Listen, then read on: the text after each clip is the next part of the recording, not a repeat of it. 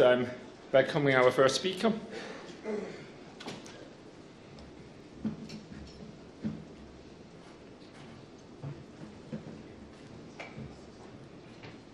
Here's mic.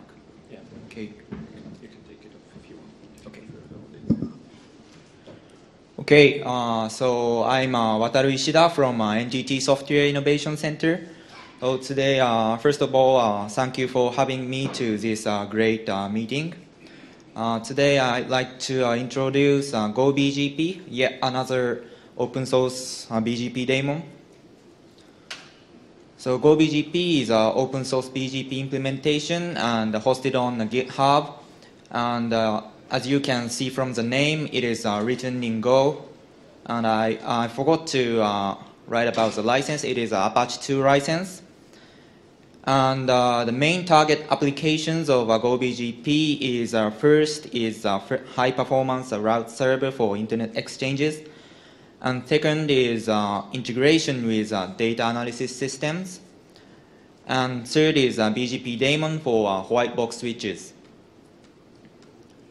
So the reason why we started to develop another BGP implementation is uh, because uh, SDN era has uh, begun. And today I don't uh, going to define strictly about the SDN.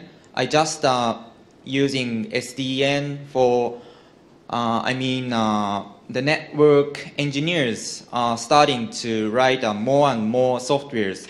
And this trend can be seen during this meeting in many se- sessions and uh, in, uh, for example, in uh, Atlas Hackathon.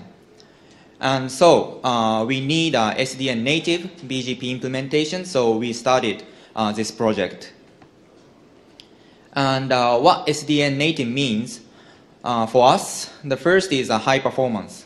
So existing open source BGP daemon are mainly single threaded, so uh, they can only exploit uh, one CPU core. Uh, GoBGP can uh, exploit uh, multiple cores thanks to uh, Go language and uh, aim to be run on uh, modern and commodity hardware which has many CPU cores and tons of memory. The second is an API first architecture. Existing BGP implementation are mainly CLI first. So if you want to do some automation or integration, uh, you have to use uh, expect library and uh, it is very uh, painful, you know. So uh, GoBGP uh, uses gRPC. It is uh, RPC framework initially developed by Google and Square. It uses HTTP2 for transport layer and protocol buffer for serialize, serializing. And it has 10 language binding, so uh, integration with your software is uh, smooth. So this is uh, gRPC's uh, website.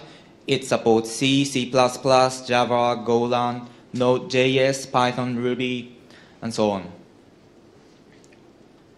The last one is a vendor neutral configuration model. Uh, so existing uh, BGP daemons configuration varies. So uh, we decided to use uh, OpenConfig. It is a YANG model for uh, BGP. Uh, it is discussed in uh, IETF. And uh, on Tuesday this week, uh, Cisco's just announced uh, its IOS starting to support uh, this OpenConfig configuration model. And this means uh, not uh, you can use a GoBGP's configuration file for uh, Cisco's routers, but uh, the model is same, so you can write a script to convert the GoBGP's uh, configuration file to Cisco's uh, configuration files. And uh, there are one-to-one mapping because the model is safe, uh, same, so it's getting easier to switch different BGP implementations. Okay, so for the simple review, uh, what SDN native means for us is first high performance, and for this we use a Golang and uh, exploit the multiple CPU cores. And second is uh, API first architecture. We use gRPC for this, And last is a vendor neutral configuration model, and we use uh, OpenConfig for this. Next, uh, I'd like to uh, share uh, the basics of GoBGP. When you uh, install uh, GoBGP, it comes with uh, two binary. Uh, one is GoBGPD. This is obviously a BGP daemon uh, running on your server. And uh, GoBGP, this is CLI tool. But uh, it uses a gRPC underneath. So you can use CLI2 uh, to configure daemon, but also you can put your own software and uh, configure or retrieve stats from uh, uh, daemon. And uh,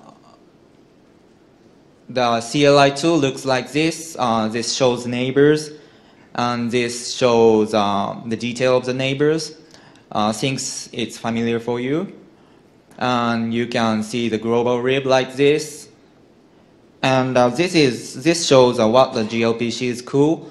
Uh, gRPC supports uh, not only get and put, but the notification support it has. So uh, this is a GoBGP monitor command. Uh, if you type this, uh, you can get the notification from GoBGPD when best path has changed or some withdrawal has received. And you can do the same for the neighbor's uh, status. So if the uh, state machine's state changed, uh, you can uh, get notified. Okay, and uh, if you pass a hyphen J, uh, the output will be in the JSON format. So it is easy to pass. And even more, if you write like this snippet, this is in a Python.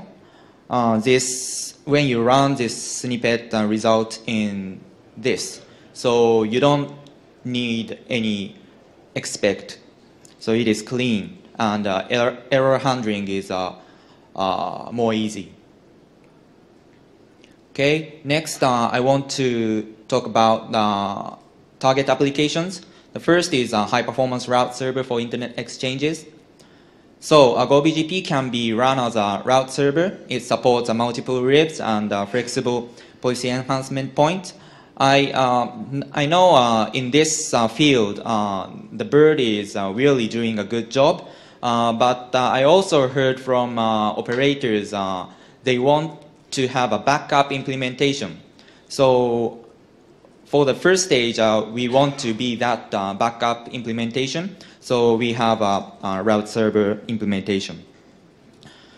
The support uh, policy condition and action is like this. Uh, we can use a prefix source and uh, I forgot uh, the destination neighbor and uh, AS path of its length and content and uh, community, extended community. We can use a regular expression and the RPKI validation result as a condition. And the action is a permit deny, add, replace, remove of the communities and med AS path. And the arithmetic operation of med is also supported. The second is the integration with uh, data analysis system. Uh, in this use case, GoBGP is just a, a library for a BGP subsystem. And we already have uh, some users for this use case. Uh, the BGPmon, uh, which is a project uh, led by uh, Colorado State University. Uh, this is a real-time version of a route view. And the FastNetMon, uh, which has a presentation on uh, Monday. So in this mode, uh, gRPC, uh, sorry, uh, GoBGP is just a uh, BGP library. It uses a gRPC to integrate with your data analysis system. And the last thing is uh, BGP daemon for white box switches.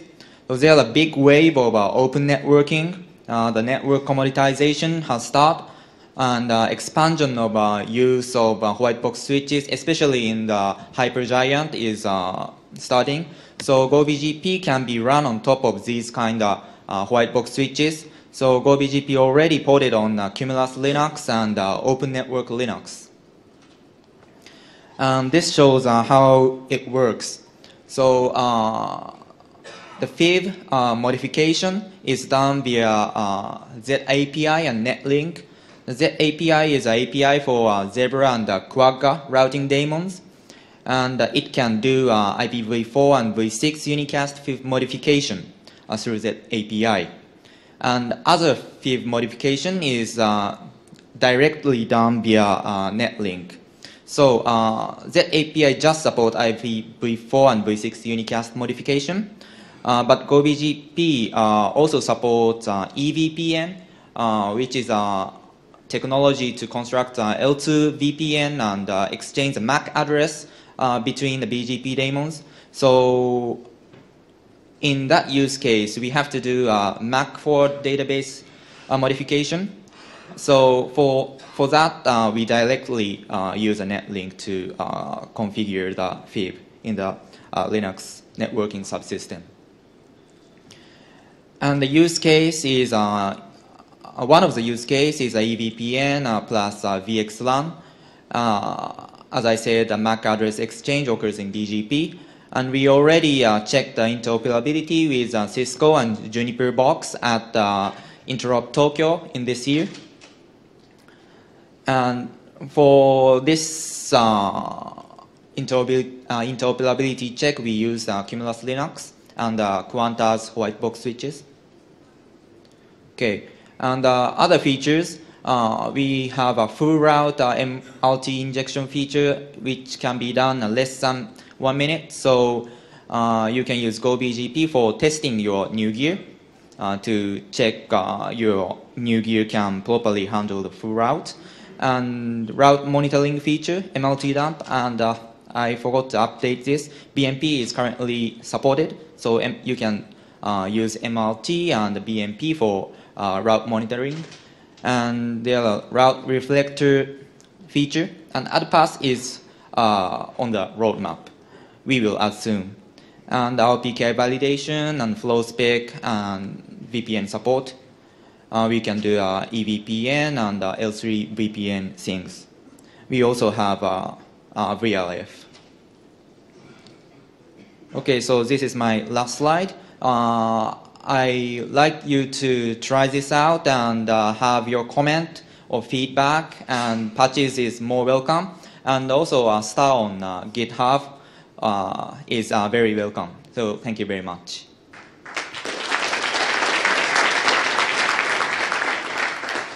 Thank you. Uh, questions? Please queue up the microphone if you have.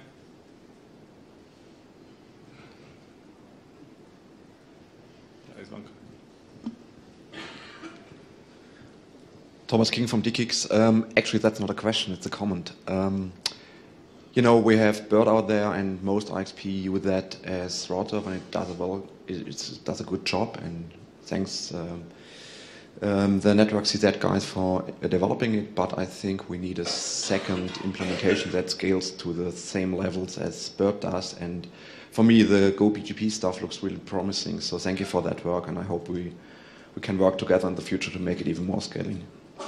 Thank you. Any other questions? So I have a quick question. Uh, how about multi-protocol support?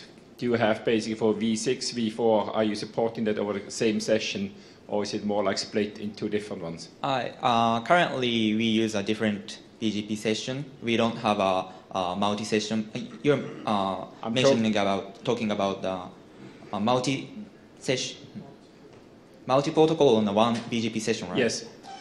Uh, it is, yeah, uh, it is supported. Yeah, it, it can, yeah, it is supported. Uh, you can uh, do uh, IPv4, V4, V6, uh, flow spec, blah, blah, uh, capability exchanging on uh, one BGP session. Okay, thank you. No more questions, so thank you very much for Thank the you very much.